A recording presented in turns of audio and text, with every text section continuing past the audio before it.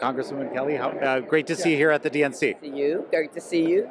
So, what's it like to have this this amazing convention here in your home state?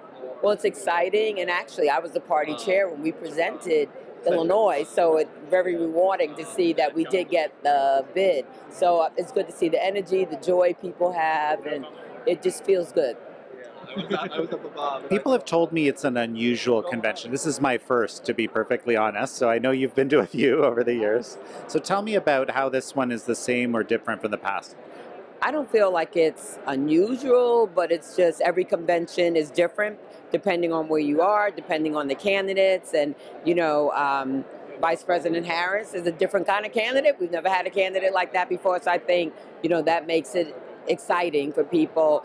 Um, but I wouldn't call it unusual. It's, it's just different. Well, so one of the things we think a lot about at Epoch Times is some of the external threats to America, Russia, communist China in particular.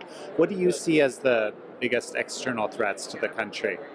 Well, I mean, when you look at what's going on around the world Ukraine, Russia, Gaza, Israel, just issues in Africa there's a lot of global issues that, you know, impact the United States. And uh, so I see all of that as an issue because, you know, we're all sharing this planet together and uh, we need peace. That's the bottom line, you know, and we need to make sure that I, I always feel like we all do better when we all do better. And if and if people were doing better, maybe they wouldn't want to take out other people or go to war with other people. You know what I mean? That they would feel good about their own lives. Sure. You know, bringing it back to the U.S., what do you see as the role of bipartisanship in what you're talking about then? Well, I work in a very bipartisan way. I've, I've, I've passed many bills out. I'm on energy and commerce, and we've done that. I think um, there's a lot of things we agree on, but there's you know some tough topics we don't agree on. But I think if all of us can agree on a bill, then it hopefully most times, not this Congress, but it, it, it, gets out of committee and it gets out of the House, it goes to the Senate, and it goes to the President. That hasn't happened this Congress, unfortunately, but normally that's how it works.